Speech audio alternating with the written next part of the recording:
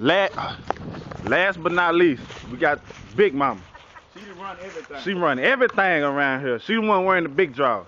Already. So check out real quick. and, and and if anything, if anything, this the woman that I lay my li- life down for. You dig? So uh, could you explain? Uh, please explain to the camera how was the Thanksgiving dinner? It was wonderful. wonderful. Everything turned out just fine.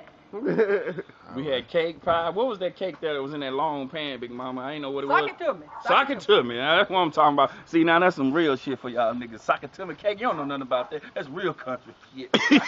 Sock it to me. Sock, sock it to me.